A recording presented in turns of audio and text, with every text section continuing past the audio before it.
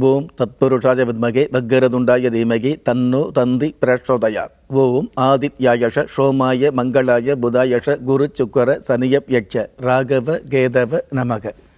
உலகெங்கும் வாழும் புது யுகம் நேயர்களுக்கு ராஜயோக அன்பு வணக்கம். நிகழ்ச்சியை பார்த்துக்கிட்டு இருக்கிற உங்களுக்கு குலதெய்வாசியும் நவகிரக அனுகிரகமும் முழுமையாக கிடைக்கணுங்கிற பிரார்த்தனையோடு உங்கள் Rajayogam doctor K Ram. Astro three sixty நிகழ்ச்சியில் நூற்றுக்கணக்கான கேள்விகளை கேட்டுக்கிட்டே இருந்தால் கூட அதில் அதிகம் பேர் எதிர்பார்க்குற கேள்வி வந்து இந்த பணம் அல்லது கோடீஸ்வர யோகம் அல்லது சௌபாக்கியமான வாழ்க்கை. இந்த மாதிரியான விஷயங்களுக்கு வந்து இன்னும் பரிகாரம் சொல்லுங்கள் சார். அல்லது வந்து வழிபாடுகள் சொல்லுங்கள் சார்ங்கிற கேள்வி தான் அதிகமாக இருந்துகிட்டு இருக்குது நம்ம நிறைய முறை சொல்லியிருக்கிறோம். அதாவது குலதெய்வத்தை பற்றியும் கோடீஸ்வர யோகத்தை பற்றியும் சௌபாக்கியமான வாழ்க்கை பற்றியும் அதிர்ஷ்டகரமான வாழ்க்கை அமைகிறதுக்கு உண்டான பல்வேறு விதமான ஒரு வழிபாடுகளை வந்து பரிகாரங்களாக ஹேஸ்ட்ரோ த்ரீஸ்டி நிகழ்ச்சியில் பல நிகழ்ச்சியில் சொல்லியிருக்கிறோம். இருந்தாலும் உங்களுடைய கேள்வியை மதிக்கிற வகையில் இன்றைக்கி நம்ம பார்க்க போகிறோம் அதாவது கோடீஸ்வர யோகம் குலதெய்வ சம சாமியால் அதாவது குலதெய்வத்தில் வந்து குலதெய்வ சாமி நமக்கு கோடீஸ்வர யோகம் கொடுக்குமா? கோடீஸ்வர யோகம் கிடைக்கிறதுக்கு லட்சுமி அல்லது குபேரர் அல்லது வேறு வகையான வந்து தெய்வங்களை வந்து நம்ம ஆன்மீக ஸ்தலங்களுக்கு ஒரு பிரார்த்தனையாகவோ வேண்டுதலாகவோ பரிகாரங்களாகவோ வழிபாடுகளாகவோ வச்சுக்கிறோம். அதே மாதிரி இத்தனை தெய்வத்தை கும்பிடும் பொழுது குலதெய்வத்தை வந்து கும்பிட்டால் கோடீஸ்வர யோகம் கிடைக்காதா அப்படிங்கிற கேள்வி கேட்டிருக்கிறீங்க. பொதுவாகவே கோடீஸ்வர யோகம் மட்டும் அல்லங்க நல்ல குடும்பம் அமைகிறதுக்கு இந்த சமுதாயத்தில் வந்து கர்ஜனையோடு வளம் வருவதற்கு பிரச்சனை இல்லாத வாழ்வு வாழ்வதற்கு தீர்க்கமான ஆயுளோடு த- அதாவது திடகாத்திரமான திரேகத்தோடும் தீர்க்க ஆயுளோடும் வளம் வருவதற்கு உங்களுடைய வாழ்க்கையில் நடக்கக்கூடிய ஒவ்வொரு விஷயங்களுக்கும் சகலவிதமான சம்பத்துக்களுக்கும் இம்முக்கணமும் எக்கணமும் நற்கணங்களை அருளக்கூடியது உங்களுடைய வம்சாவளி தெய்வமாகிய குலதெய்வம் தான் அப்படிங்கிறதுல எல்லளவு கூட மாற்று கருத்து கிடையாது. இருந்தாலும் இந்த கோடீஸ்வர யோகத்துக்கு வந்து குலதெய்வத்தினுடைய அனுகிரகம் கிடைக்குமா? கோடீஸ்வர யோகம் கிடைக்கிறதுக்காக குலதெய்வத்தை வந்து எந்த மாதிரியான வழிபாடு வச்சுக்கலாம் அப்படிங்கிற எடுத்துட்டோம் அப்படின்னா பொதுவாகவே உங்களுடைய வம்சாவளி தெய்வம் என்று சொல்லக்கூடிய குலதெய்வம் என்று சொல்லக்கூடிய அது பெண் தெய்வமாக இருந்தாலும் சரி ஆண் தெய்வமாக இருந்தாலும் சரி அமைதியான தெய்வமாக இருந்தாலும் சரி ஆங்கார தெய்வமாக இருந்தாலும் சரி அதாவது அந்த தெய்வத்தை வந்து நீங்கள் நாளும் பொழுதும் உங்களுடைய உள்ளத்தில் நினைச்சுக்கிறது நல்லதாக இருந்துகிட்டு இருக்கும் ஒன்று நல்ல வாழ்க்கை வாழ்கிறதுக்கு நல்ல இல்லறம் அமைகிறதுக்கு உங்களுடைய உள்ளத்தில் வம்சாவளி தெய்வமாகிய குலதெய்வத்தை வந்து நினைச்சுக்கிறது நல்லது. அதே சமயத்தில் நல்ல வாழ்க்கை அப்படிங்கிறத விட இந்த உலகத்தில் வந்து ராஜயோகமான குபேர சம்பத்துக்கள் கிடைக்கக்கூடிய கோடீஸ்வர யோகம் கிடைக்கணும்னா அதற்கு குலதெய்வத்துக்கு சிறப்பான வழிபாடு அப்படிங்கிறது பல்வேறு வழிபாடுகள் இருந்தால் கூட அனுதினமும் அதிகாலையில் எழுந்த உடனேயே வந்து குலதெய்வத்தை நினைக்கிறது அப்படிங்கிறது நல்லது அப்படிங்கிற விஷயத்தை நாம் நிகழ்ச்சியிலே நிறைய முறை சொல்லியிருக்கோம். அதே மாதிரி உள்ளம் கையை பார்க்கறதுக்கு முன்னாடி காலையில் எழுந்து உங்களுடைய உள்ளங்கையை பார்க்கறதுக்கு முன்னாடியே பூமாதேவியை தொட்டு நமஸ்காரம் பண்ணிக்கிறது சிறப்புன்னு சொல்லியிருக்கிறோம். அல்லது உள்ளங்கையை பார்த்ததுக்கப்புறம் பூமாதேவியை தொட்டு நமஸ்காரம் வச்சுக்கிறது. அந்த மாதிரி நமஸ்காரம் வச்சுக்கும் பொழுது உங்களுடைய குலதெய்வத்தை வந்து நினச்சிக்கிறது நல்லதுங்கிற சொல்லியிருக்கிறோம். அந்த மாதிரி காலையில் எழுந்துடனே உங்கள் உள்ளங்கையை பார்க்கும் பொழுது அந்த உள்ளங்கையில் ஒரு வெத்தலையை வச்சு அந்த வெத்தலைக்கு நடுவில் ஒரே ஒரு ரூபாய் காயின் வைக்கிறது நல்லது. திரும்பவும் சொல்கிறேங்க அனுதினமும் அதிகாலையில் எழுந்ததுக்கப்புறம் காலை அப்படிங்கிறது அதிகாலையில் எழு எழுந்திருக்கிறது நல்லது. முடிஞ்ச அளவுக்கு பிரம்ம முகூர்த்தத்திலேயே எழுந்துக்கிறது நல்லது. அல்லது அதிகபட்சம் காலை நாலு மணியிலிருந்து ஆறு மணிக்குள்ளாக எழுந்துக்கிறது நல்லது. அதை தவற விட்டால் கூட ஆறு மணியிலிருந்து ஏழு மணிக்குள்ளாக எழுந்துக்கிறது நல்லது. ஆறு மணிக்குள்ளாக அதிகாலையில் பிரம்ம முகூர்த்தத்தில் எழுகிற நீங்கள் வந்து உங்களுடைய வலது கையில் ஒரு வெத்தலையை வச்சு அந்த வெத்தலைக்கு நடு மத்தியில் ஒரு ரூபா காயின்ஸ் வச்சு அந்த காயின்ஸை வச்சுக்கிட்டே உங்களுடைய குலதெய்வத்தை நினச்சி நீங்கள் பிரார்த்தனை பண்ணணும். பிரார்த்தனைங்கிறது அரை மணி நேரம் ஒரு மணி நேரம் கிடையாதுங்க. ஒரே ஒரு நிமிஷம் அல்லது முப்பது செகண்ட் அதாவது முப்பது வினாடிகள் பிரார்த்தனை பண்ணாலே போதும். சாமி இந்த நாள் நல்ல நாளாக இருக்குது அப்படிங்கிறத விட எனக்கு கிடைக்கக்கூடிய சூழ்நிலைகள் சாதகமான சூழ்நிலைகள் அமையுது அப்படிங்கிறத விட கிடைக்கிற நேரங்களும் கணங்களும் பொழுதுகளும் நாளும் பொழுதும் நமக்கு வந்து சந்தோஷமாக இருக்குது அப்படிங்கிறத விட பொதுவாகவே காசு பணம் சேரக்கூடிய ஒரு அற்புதமான ஒரு சூழ்நிலையை இந்த நாள் முழுவதும் எனக்கு வணங்கணும் சாமி. எனக்கு அந்த மாதிரியான விஷயங்களை வந்து எனக்கு ஆயுள் முழுவதும் வழங்கக்கூடிய ஒரு பாக்கியத்தையும் எனக்கு கொடுக்கணுங்கிற சாமியை வந்து உங்களுடைய மனசு போல நினச்சி நீங்கள் பிரார்த்தனை வச்சுக்கலாம். சௌபாக்கியம் சகல சம்பத்து அப்படிங்கிறத விட மற்றவர்களுக்கு முன்னாடி பெருமையான ஒரு குபேர சம்பத்தோடு அல்லது கோடீஸ்வர யோகத்தோடு வாழணுங்கிற உங்களுடைய எண்ணத்தை வந்து சிறு பிரார்த்தனையை காலை நேரத்தில் வச்சுக்கலாம்.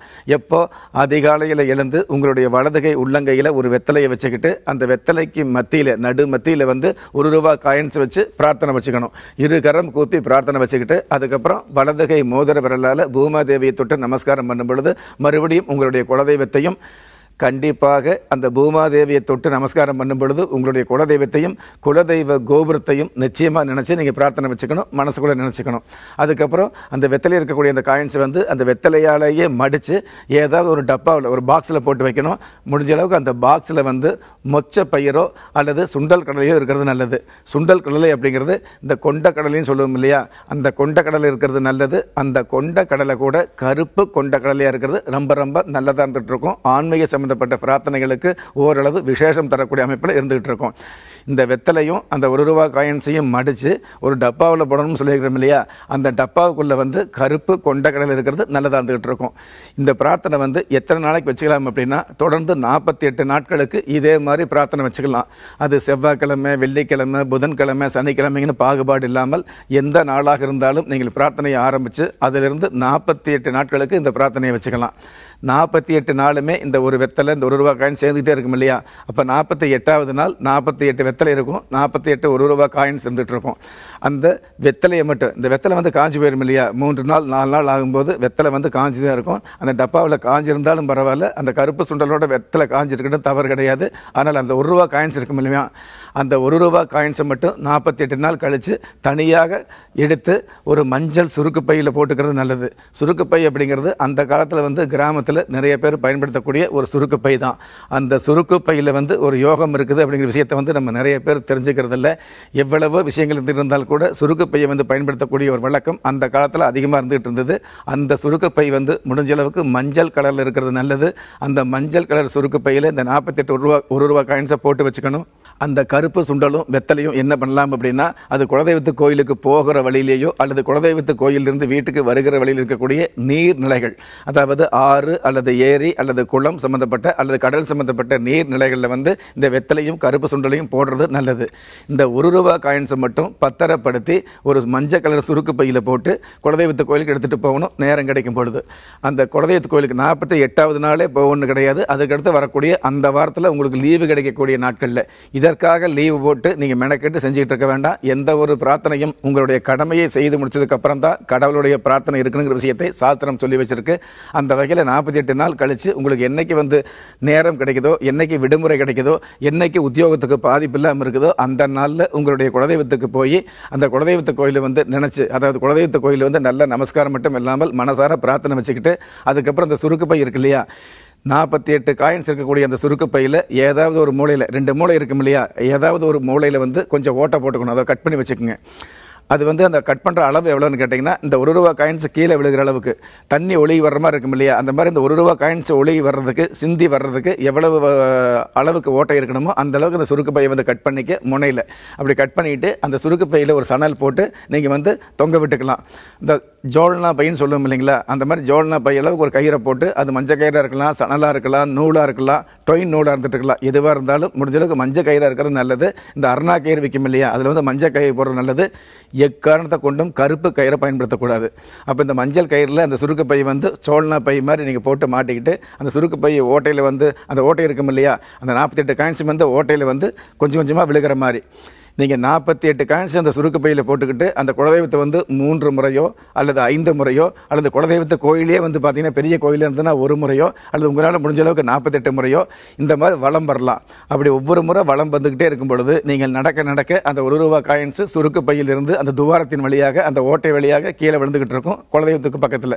அப்படி சுற்றி வரும்பொழுது நாற்பத்தி எட்டு முறை சுற்றி வந்ததுக்கப்புறம் அல்லது வந்து மூன்று முறை சுற்றி வந்ததுக்கப்புறம் அல்லது ஐந்து முறை சுற்றி வந்ததுக்கப்புறம் அல்லது பதினோரு முறை சுற்றி வந்ததுக்கப்புறம் அல்லது இருபத்தோரு முறை வளம் வந்ததுக்கப்புறம் அல்லது இருபத்தி ஏழு முறை வளம் வந்ததுக்கப்புறம் அல்லது நாற்பத்தெட்டு முறை வளம் வந்ததுக்கப்புறம் அந்த சுருக்கு பையில் இருக்கக்கூடிய காசுகள்லாம் கீழே விழுந்திருக்கும். ஒரு ரூபா காயின்ஸு அப்படியும் நீங்கள் இத்தனை முறை வளம் வந்தும் அந்த ஒரு ரூபா காயின்ஸ் விழுகாமல் இருந்துன்னு வைங்களேன் மீதி இருக்கிற காசுகளை வந்து நீங்கள் குலதெய்வத்துடைய உண்டியில் போட்டுடலாம். உண்டியில் போட்டுட்டு நீங்கள் வந்து குலதெய்வத்தை வந்து வேண்டிக்கிட்டு கண்டிப்பாக இந்த நேரத்தில் எந்த நிலையில் இருந்துக்கிறனோ அதை விட பல்வேறு வகையில் பல்வேறு விதமான சம்பத்துக்களோடு கோடீஸ்வர யோகத்தோடு இந்த உலகத்தில் கொடிகட்டி பறக்கணுங்கிற விஷயத்தை வந்து உங்களுடைய மனசில் பிரார்த்தனையை வச்சுக்கோங்க.